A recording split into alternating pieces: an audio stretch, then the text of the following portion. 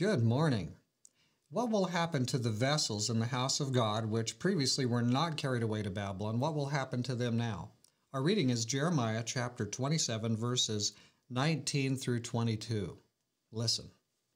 For thus says the Lord of hosts concerning the pillars, concerning the sea, concerning the carts, and concerning the remainder of the vessels that remain in this city, which Nebuchadnezzar king of Babylon did not take when he carried away captive Jeconiah the son of Jehoiakim king of Judah from Jerusalem to Babylon, and all the nobles of Judah and Jerusalem.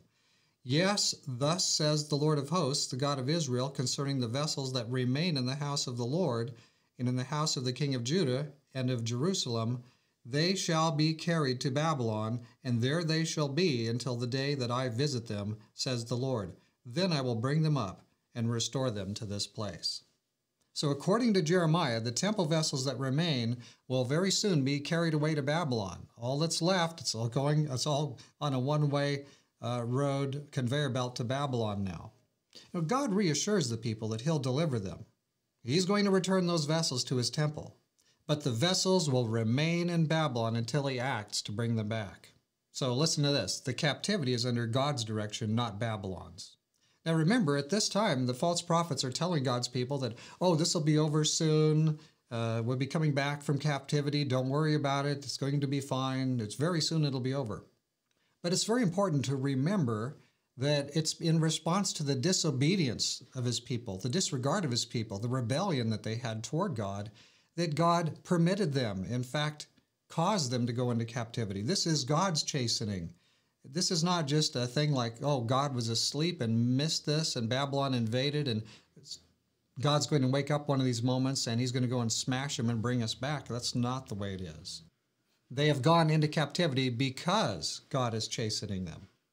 They want to end the captivity early and get back to normal, you know, back to commerce, back to uh, blending the worship of Yahweh with Chemosh, stuff like that. They've been interrupted. And who dare interrupt us? So they've gone far from him, but he's only doing what he needs to do to bring them back. It's kind of apparent that Judah's having a lot of trouble accepting God's punishment. Well, this item today, of course, is tied in with the first, the previous two days where we talked about uh, in chapter 27 of Jeremiah here, what's going on.